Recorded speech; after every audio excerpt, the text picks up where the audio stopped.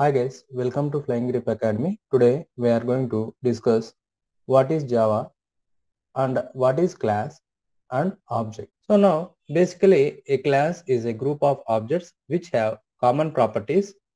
It is a template or blueprint from which objects are created. It is a logical entity. It cannot be physical. You can able to consider class as a person and he will be having a certain attributes like person can be identified by the unique ID. There may be number of persons who is having his name as John and there are many persons who is having name as Daisy. How can a person can be identified? Based upon unique ID so that example Aadhaar ID it can be identified and person every person will be having a name and he can be identified by age gender and city. And he will be having some hobbies so those we can able to categorize as methods. Eat study sleep and play and so on. You can able to include if there are any methods you would like to include. In this manner you can able to identify the class. So let me illustrate with an example. You can able to consider a class as a house. Now if you want to have a house attributes, you can able to categorize the house attributes as hall, kitchen, drawing hall, swimming pool, bedroom, and so on.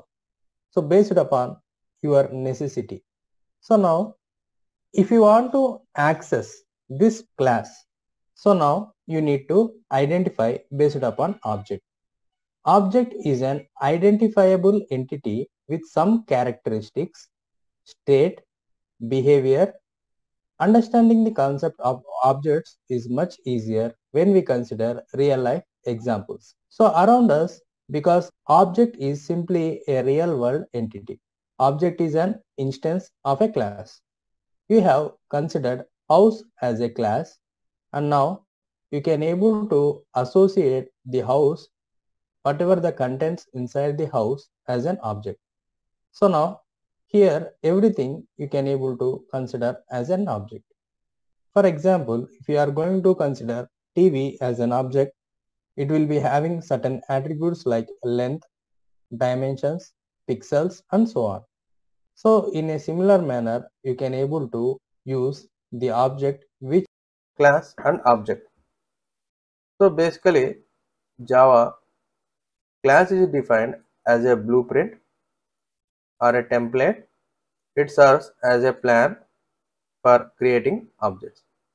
An object in other hand, it is an instance of class. So what does class contain practically? It contains data members and methods. So what does data members contain?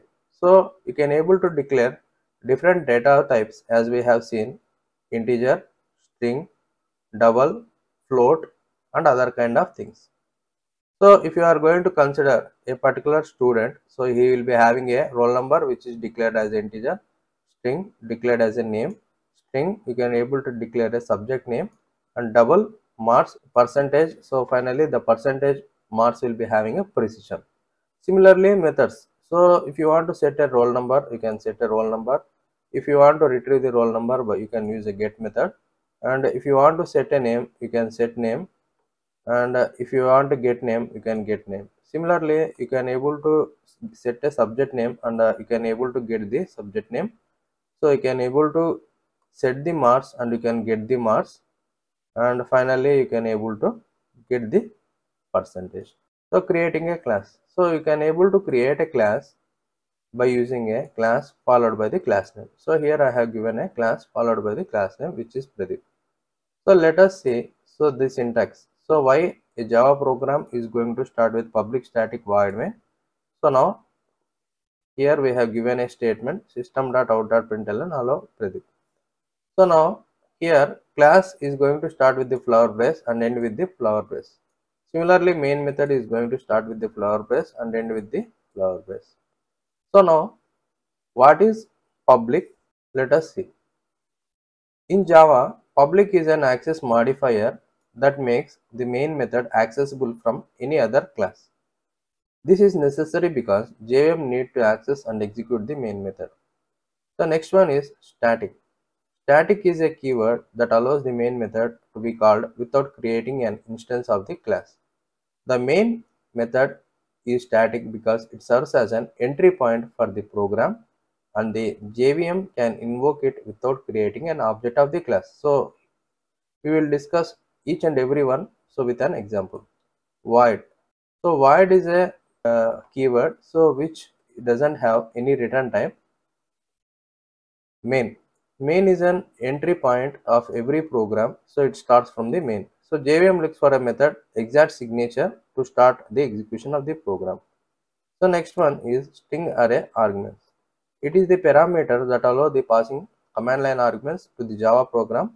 The arguments parameter is an array of strings. It can be used to provide input to the program when it is executed through the command line. So let us execute this simple. So now I am going to open the basic editor called Notepad. So I have opened the Notepad and I have pasted this particular program and we have to save the program based upon the class name. So file, save as, you need to create a work directory in C drive. I have already created a folder. So but I will again create a folder. So new folder, I am going to name a Java examples. So in this folder, I am going to select Java examples is a folder name which I am using. So the class name is Pradeep and you have to save every program by extension Java. So save under all files. So now I am going to open the command prompt. So I am going to use a cd backslash. So now I am going to switch to the directory cd space Java examples. So now I need to compile the program based upon Java C file name dot Java. So now I need to compile the Java program Java followed by the class name. So now it has shown the output follow followed by name. So whatever the name which we have given in system dot out dot println. So now creating a object. So class contains data members and methods. So what is the object? How you are going to call the method? So now within the class we have declared a x equal to 5 which is a data member. Data members are defined data types. So string, integer, float, double and like that. So next methods. So here we have declared a method public void method.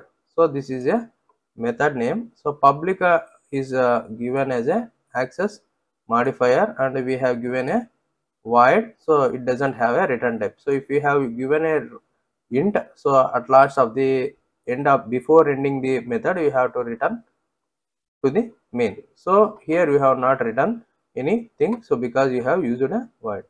So the, the name of the method is method. So now here you are going to print a statement. So system.out.println called called method by object. So now here we are going to write this particular declaration part outside the main. So in previous program we have mentioned this uh, system.out.println within the main method. So but here in this program we have defined all this part outside the main. So here we have defined outside the main. So now here we are going to declare a main method public static void main string array arguments. So now the main important thing is class name. So how to create an object? So creating an object you are going to create a class name. What is class name? Class name is class object and you are going to create an object. So what is the object name? My object is an object name. So now you are going to create an instance of class by creating a new. So here we have declared a new followed by class name. So class name is same thing and here you are you have added braces. So let us uh, see the explanation. So what we are using. So here we are going to declare an object name equal to new class name. So why we are using? So here we are using a new operator so which is going to dynamically allocates the memory so it is called the instance allocator or dynamic allocator so here we are using a flower brace because it is going to invocate the constructor of the class. So Java defines a default constructor by specifying the particular braces. So here it is going to reference the object in the stack memory whereas the actual object is created in the. So because of that reason we are going to use the declaration of objects. So what is the need of this brace? So we are going to it is going to check the particular object so which is accessible so it is a going to create an instance of the class and this particular brace we will see later so now we are going to call the particular data members and methods. So by this particular object so you are going to call this particular method. So object is going, going to access data members and methods. So what is a method uh, what is the object name you are using? So now your object name is my object and my object dot x. So now you are accessing the particular x value. So what is x? x equal to 5 so 5 value should be printed. So again you are going to call this particular method. So where you are going to call? So here you are going to call the method. So now my object so object is a access object you have created by this object you can able to call the method so now we have called the method. So by this we have called the value x equal to 5 so and we have called the method from this particular program. So let us uh, compile the program. So class name is class object file. You can able to save the program file under so now i am going to compile the program. Java c class name dot java. So now you need to execute the program. So the this is called by object. So here you can able to create a multiple objects. So for example class object1 equal to new class name similarly you can declare a class object2 equal to new class name. So you can able to reference the object1 also. So for example here object1 is created. So now so here object2 is going to reference the object1 so the same memory location here it is using object1 and object2 is using the same memory location. So because of that reason you can like this you can able to create a object references so creating the multiple objects. So here you can able to create a multiple objects. Class name is student. So here we have created a student. So what is student? Student is a name of the class. So here student is a name of the class. So if you are declaring a method with the same name as student it is said to be a constructor. So here it is said to be a constructor so we have declared a constructor here. So next what kind of uh, things it is taking? So here already declared some variables which are global variables. So which we have declared outside this particular thing. So now here name. So name equal to student name which is passed by the user. So next student age student grade. So the three parameters it is accepting as a arguments. So age so whatever the user is going to pass the arguments that will be set. So now here we have a method called void display information. So it is going to print the name age and grade. So these are the things which will be printed by the display information. So now main method is a uh, is a entry point of the program so now what it is doing. So we have created an object student1 so we have crea we created an instance new student. So we have given a three names. So John Doe, Jane Smith, Bob Johnson and we have given a parameters. So here we have given a name we have given age 20 22 21 and the uh, grade. So grade in percentage we have written 1 2 3 so now so student 1 student 2 student 3 are three objects. Student 1 student 2 student 3 are so three objects. Three objects which we have created.